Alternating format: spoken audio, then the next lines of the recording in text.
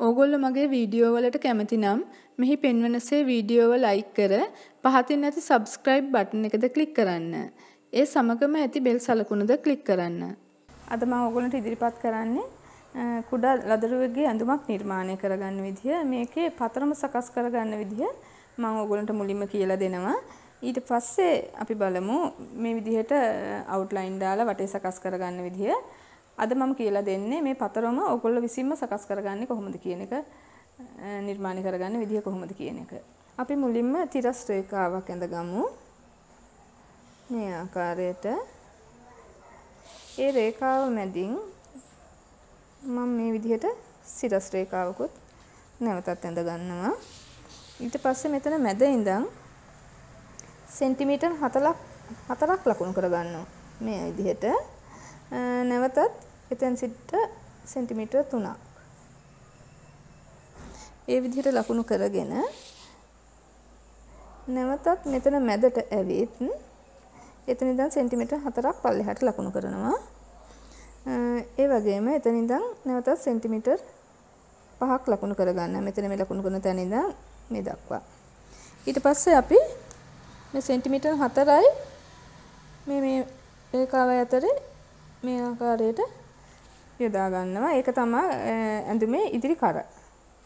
ඒ වගේම මෙතන සෙන්ටිමීටර් 5ක් පල්ලෙහායින් මෙතන 5යි මෙතන 4යි මේ ආකාරයට නැවතත්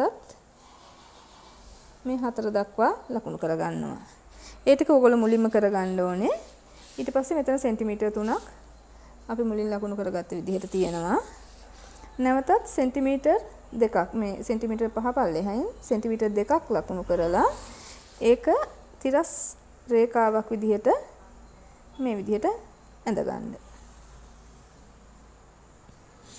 දැන් අපි මෙතන සිට සෙන්ටිමීටර් 12ක් මෙතන මැද ඉඳන් බලලා සෙන්ටිමීටර් 12ක් මේ ඇඳගත් තිරස් රේඛාව දිගේ ලකුණු කරගන්නවා. මේ දක්වා 12යි. දැන් නැවතත් සෙන්ටිමීටර් එතකොට මෙතෙන්දී අපි සෙන්ටිමීටර් දෙකක් පල්ලෙහෙන් අරගන්නේ. නැවතත් සෙන්ටිමීටර් 16කින් ලකුණු කරගන්නවා. ඒ හරහාත් තිරස් රේඛාවක් ඇඳ ගන්න ඕනේ.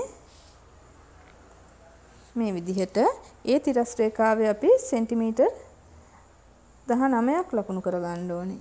මේ දක්වා සෙන්ටිමීටර් 19ක්. මෙතෙන්දි 12යි මෙතෙන්දි 19යි.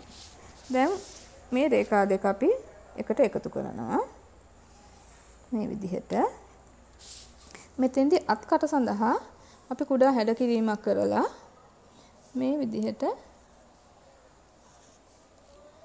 ඉතා කුඩා හැඩ කිරීමක් කරාම ප්‍රමාණවත් ওই විදිහට ඇඳ ගන්නවා. දැන් මේ රේඛාව තව ටිකක් දුරකට අපි පල්ලෙහාට දික් කරගන්නවා. මොකද අපිට ඇඳුමේ හැඩය සකස් කරගන්න ඕනේ හින්දා මම මෙතෙන්දි නැවතත් සෙන්ටිමීටර් 4ක් අපි මෙතෙන්දි සෙන්ටිමීටර් 16ක් ගත්තා මේ රේඛාවේ ඉඳන් නැවතත් සෙන්ටිමීටර් 4ක්. ඒ හතර යොදාගන්නේ හැඩ කිරීම සඳහා. මේ ආකාරයට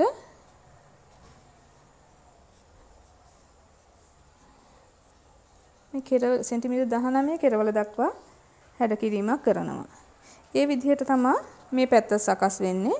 ඔගොල්ලෝ එතකොට ඇඳුමක පළු දෙකම නිර්මාණය වෙනවා.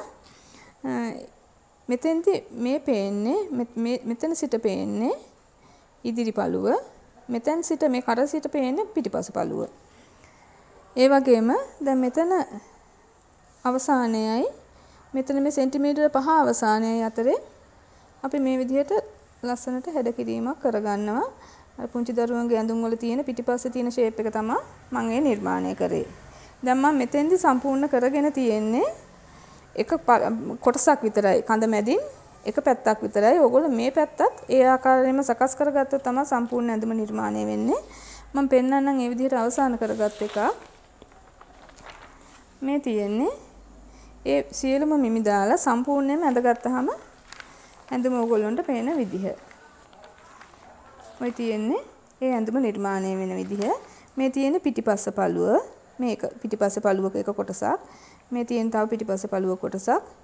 මේ ඒ ලකුණෙන් මම ලකුණු කරන්නේ සම්පූර්ණයෙන්ම දැන් මේ විදිහට ගත්තාම සම්පූර්ණ ඉදිරියේ තියෙන ඇඳුම. මේ තියෙන්නේ ඉදිරි කර. මේ විදිහට බැලුවොත් ඕගොල්ලන්ට මේ ඉදිරි කර, මේ පිටිපස කර, මේ පිටිපස පළු දෙක සහ සම්පූර්ණ ඇඳුම. එතෙන්දී දැන් මේ පළු දෙක ඕගොල්ලන්ට සකස් කරගන්න මේ විදිහට සම්පූර්ණ ඇඳුමකට දාගන්න බෑ. මෙතනදී අපි මේ ඉදිරි පළුවේ උඩමයි මේක ඇඳගෙන තියෙන්නේ. ඒක අපිට වෙනස් කරගන්න වෙනවා. ඕගොල්ලෝ මේ තවත් ඒ වගේම බ්ලොක් එකක් ඇඳගත්තොත් දැන් මේ වගේම කොලයක් නැවත වතාවක් ඇඳගෙන මේ කොටස කපා ගන්න. දැන් මම මේ කොලෙන් පෙන්නුවා. මෙන්න මේ කොටස කපාගෙන ඒක මේ පැත්තට හරවලා මෙතනින් අලව ගන්න. මේ විදිහට එන විදිහට. එතකොට තනි රෙද්දටම අපිට ඉදිපස පළු සහ පිටිපස පළු සියල්ලම නිර්මාණය වෙනවා. මම පෙන්වන්න ඒක අලව ගන්නාම පේන විදිහ. දැන් මම ඔයගොල්ලන්ට කිව්වා ඒ කොටස මෙන්න මෙතනින් අලව ගන්න කියලා. අර ඉස්සෙල්ලා අපි මේ අඳින කොටස මෙතනින් මේ නැමර තියලා මේ පැත්ත ගැහුවාම කොහොමද පේන්නේ කියන එක තමයි මම අදහස් කරන්නේ. මේ කොටස කපා ගන්න. ඒ සඳහා ඔයගොල්ලෝ දෙකක් ඇඳ ගන්න ඕනේ. කපා ගන්න සඳහා එකයි, ඉදිරිපතරම සඳහා එකයි. ඊට පස්සේ ඉදිරිපතරම ළඟින්ම මේක අලව ගන්න. එතකොට මේ විදිහට මේ පේන්නේ එක පිටුපස පළුවක්. දැන් මේ කොටසටත් තව මෙතන කොටසක් ඇලෙවුවාම සම්පූර්ණ ළමා ඇඳුමම නිර්මාණය වෙනවා. ඒ විදිහට සරලව ඔයගොල්ලන්ට ගෙදරදි කරගන්න පුළුවන් විදිහක් තමයි මම මේ මමම නිර්මාණය කරගත්ත ක්‍රමයකට මම මේ සකස් කරේ. මේ තියෙන්නේ ඒ විදිහට දැන් මේ පිටිපස පළුව ඒ ඔක්කොම එකම රෙද්දෙන් එන විදිහට අරගත්තාම ඔයගොල්ලන්ට පේනවා ඇති පුංචි දරුවෙකුගේ ඇඳුමක් නිර්මාණය වෙන විදිහ ඔයගොල්ලන්ට උස අඩු වැඩි කරගන්න පුළුවන්. මේ කොටස් වලදී ලොකු විශේෂයක් නැහැ. ඒ සාමාන්‍යයෙන් ටිකක් ලිහිල්ව ගන්න නිසා ඕනම දරුවෙකුගේ ප්‍රමාණයට මෙතෙන්දී උස අඩු වැඩි කර ගැනීමෙන් වයස මට්ටම අනුව ඕගොල්ලන්ට වෙනසක් කරගන්න පුළුවන්. මං හිතන්නේ වෙළඳපොලේ මිලදී ගන්නවට වැඩිය ලස්සනට පුංචි ඇඳුමක් නිර්මාණය කරගන්න ඕගොල්ලන්ට හොඳ අදහසක් මම ඕගොල්ලන්ට අද ඉදිරිපත් කරා කියලා. මම අද ඔයගොල්ලන්ට ඉදිරිපත් කරේ ළමා ඇඳුමක මූලික පතරම සකස් කරගන්න විදිහ පමණයි.